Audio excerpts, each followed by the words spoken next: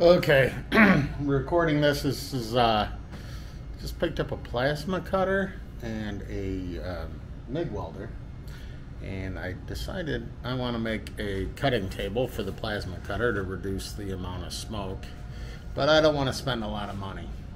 So what I'm going to do is try to use mostly uh, parts that I found around my house. I'm in my basement now, but I might have to move this to the garage. Uh, so here, let's take a look at what I got to work with. So here's uh, here's a network rack. I don't know if you can tell that. That's an old network rack I used for uh, printers in my basement and I'm thinking I'm gonna uh, use that as a legs. Uh, keep in mind something I, I needed to add is I, I see a lot of these on the uh, YouTube, and they all use steel, and they're all steel. And since this is uh, in my house in a residential neighborhood, I got to be able to move it a lot. So I'm going to try to keep it as light as possible. Uh, I picked up this sink on uh, Facebook Marketplace. I paid 50 bucks for it. And these are the network racks trays under here. You can see them. Uh, I've got a, a, few of those, mixture of steel and aluminum. I'm gonna use a square stock that I picked up to uh, make the cutting table part. And I picked up this flat piece of aluminum. Uh, I was hee-hawing about whether I should go with aluminum or steel. Obviously, steel is better. It's more conductive, and I could use it as a welding bench. But once again, I want to keep it light. Um, here's an air compressor I picked up a while ago. It's a two-cylinder electric. I believe it's a six CFM. So I think that's going to be enough to run the, the cutting torch. I'm not 100% sure, but it's a heavy duty one, military grade uh, and it was on a welding trailer. So my guess is uh, that's why they bought it was because of the CFM rating. I'll have to look that up. Here's some uh, other found items. These are CD racks, you know, for gaming. You put all your CDs in there. And what I'm thinking is if I cut one side of them off and hang it off the side of the cart, it might be a good for a wire management. So once again, that cost me nothing. The uh, network rack cost me nothing. The steel and the uh, uh, metal cost me, I think, 130 bucks. So I'm into it for 130 plus the sink, which is 50 bucks. Already had the uh, air compressor, so no out of pocket there and if worst comes to worst, I can run it off the large air compressor in the garage. Well, if I do, uh, it's 83 inches.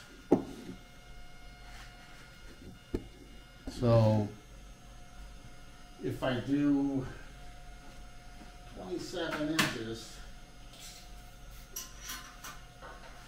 on each one, I should be fine.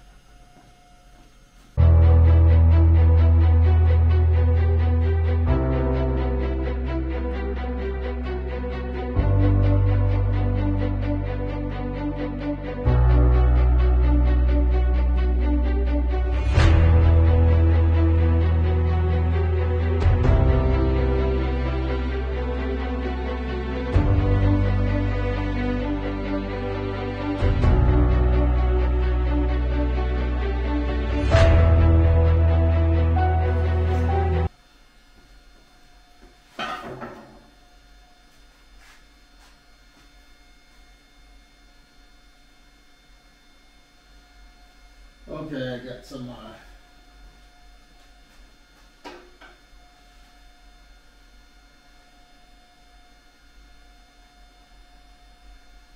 got some drilling tapping to do.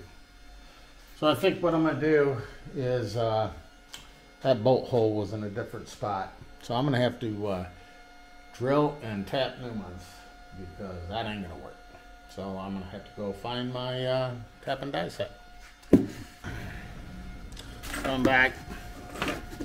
I forget to start recording again, but uh, drilling and tapping holes.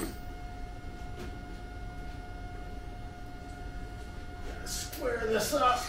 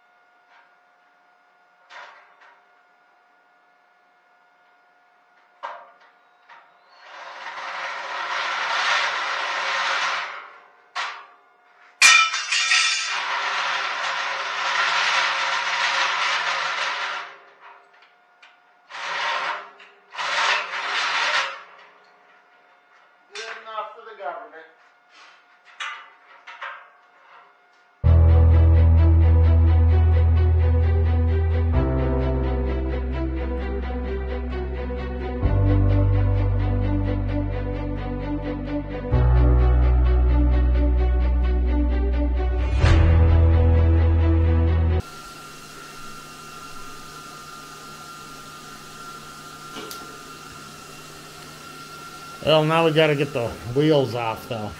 I want to burn them things up. What the hell? Oh. Huh?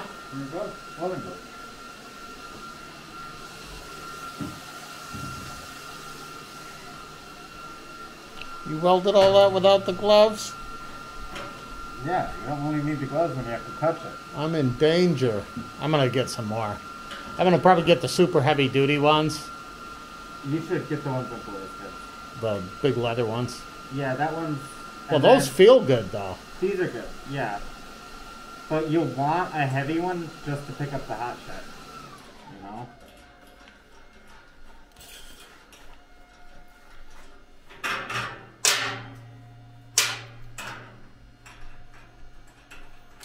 So uh, we discovered we needed center support, so we're adding wheels in the center. This is my son Aaron. Oh. He's uh, helping me weld, but he also made a, uh, a comment that I'm I should move these wheels to the inside, and it would be more stable because we're noticing we're getting a lot of flex with the aluminum. So uh, I might have to reinforce this support here. I want to avoid using steel because uh, I want to keep the weight down. But so far so good. Now he's going to weld up that next wheel. We tacked it on the top. Took us a while to get the settings right on the welder. Once you. I mean, it is all in the book, but when you're not reading the book. Oh no, I set it by the book. That was it wasn't working. I think it's because those are dissimilar aluminum. Uh, One probably melts hotter than the other one. Ready? Yes.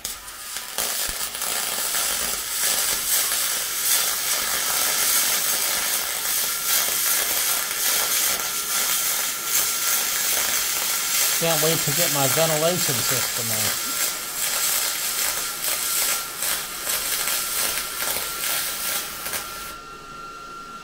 Oh, you know something? I gotta. Come check out this weld there at the top. Yeah, let me go look at it.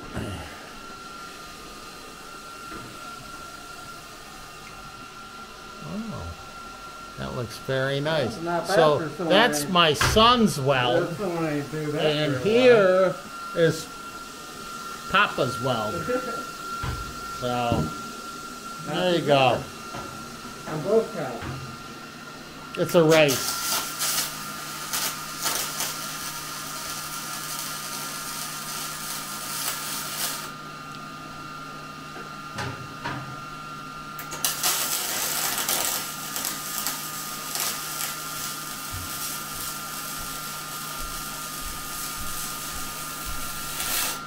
Here's what's more amazing is we're using the Miller-Matic 211 and it is attached 110 volts on a 20 amp circuit.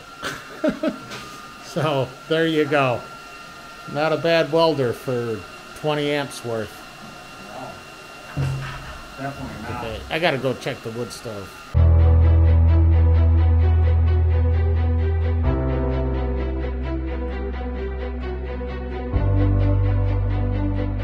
Only thing left now is, uh, is I gotta connect the holes. you got to be careful to not. I already did one already, and I had some of them with a slight angle, so I'm to try to keep it straight this time.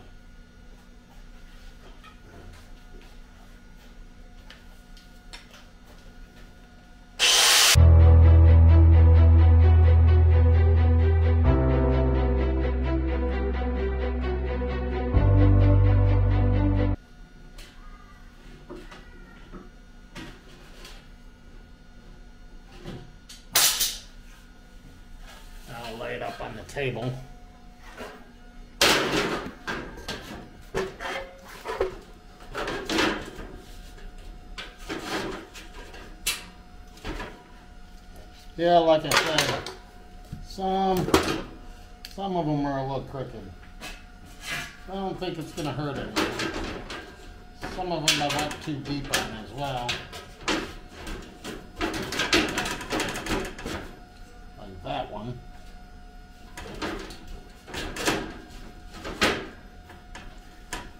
Yeah, it's a little crooked, but uh, it'll work.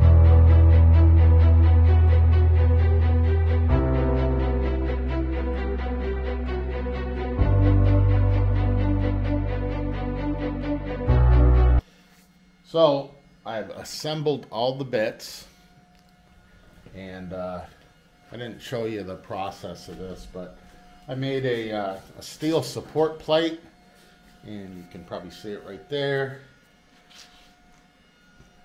And I welded together the table, and uh, put on a steel top on one side, and I'm still waiting for my other. Uh, plasma cutting uh, spans to complete the other side. But uh, here's um, the assembled table. Uh, I did purchase the outer wheels, but the uh, inner ones I already had, so that was at no cost. And um, yesterday I did a bunch of the plumbing, and uh, I'll show you that in a little bit of um, of all the, the plumbing I've done. I, uh, I skipped the uh, other steps of hooking up the wiring, and uh, but I believe I'm complete. Only uh, tweaking left, so I'll let you guys uh, check out and critique my uh, my table. So here we go. I'll take a wide view, then I'll explain as I go around. Uh, I have the uh, my holder for my welder here was the bottom of that CD-ROM rack. The CD-ROM rack I ran for my hose management. Um, and then uh, I've installed my pneumatic system, which is uh, the air comes in right here, goes to a dryer, and uh, from the dryer it goes to a high pressure regulator. And from the high pressure regulator to my uh, tool oiler and then uh, two outlets. Um, after this air dryer I tapped off of it to come back to another regulator. This will be my low pressure regulator and that's to feed the plasma torch. And then of course I have a, uh, end out here um, just in case. I don't know if I have any tools that require maybe just for the air air blower, you know, to blow off the work table. Um, so uh, and then from there, it connects to a hose that goes to my uh, super super dryer for the plasma cutter, this toilet paper roll, and that way I won't be wasting it. Uh, um, on other stuff I don't need. So I realized that my little two horsepower uh, air compressor and uh, I've only got 10 gallons and that's not quite enough. So this is my solution to hook up my larger air compressor if I'm on a bigger project and then I can feed it in here to uh, augment the system. So I installed um, switches here and a power outlet. Um, the first switch turns on the air compressor and the torch.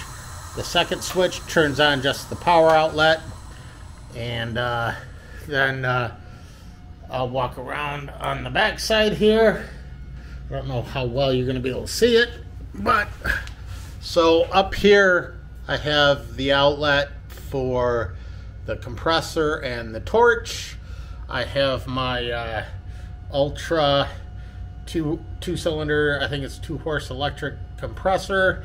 Does pretty good, but as you can see, the the tankage isn't good. Um, I have augmented it with this port portable tank, but you know I really need to get to. Uh, they they recommend 20 gallons, and I don't have that, so I'll be running out of air a lot. So that's on this side. Um, and of course, you guys see me make the table. And uh, I actually had to order a two, a two of these sets because now I've got quite a large cutting surface. And of course, in there's my uh, deep sink um, for adding the water and reducing the smoke. Um, I do have, I'm indoors, so while I'm indoors, I'm gonna have to use this ventilation system. Uh, I picked up this uh, 850 CFM, CFM uh, blower. It does pretty good. I mean, for what it is, it's not bad. And I route that out the side of my house. Won't be doing a lot of cutting down here and stuff because that was the whole purpose of the project was to make a table I could disassemble and move to the garage. And uh, eventually that's where it's going to go because um, I have work to do on my vehicle and other stuff. So give me your thoughts. What do you think? Overall, the table weighs, with everything on it, it probably weighs, uh, you know, three, four hundred pounds. Uh, but if I take the top off, which I can, it's all bolted on, then the aluminum piece uh, lower half of the table without the equipment is pretty light. Uh, we're talking maybe 100 pounds. And yes, there is some flex. It's not as sturdy as a steel table, but of course, it's not as heavy as either. So uh, that's what I was going for. And of course, uh, I forgot to mention this other CD-ROM rack I stuck on the back side here for maybe holding tools and stuff. As I use this, I'm uh, probably going to discover other things I need. I can see already I'm going to have to put on some sort of uh, back wall so I can put my air tools up and out of the way and have them organized. But uh, yeah, like I said, tell me what you think. Uh, I think it turned out fairly well. Uh, like I said, the only thing left is some tweaking, and uh, I'm going to call this job done. Peace out.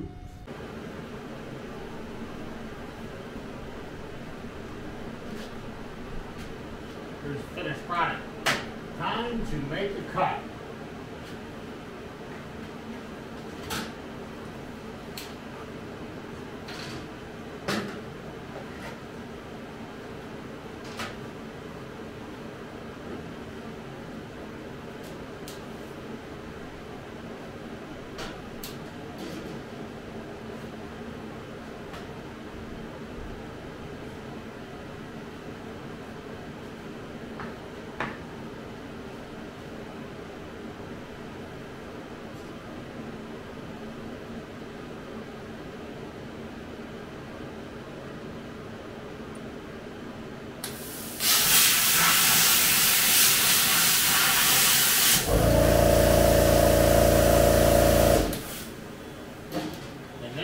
be my problem.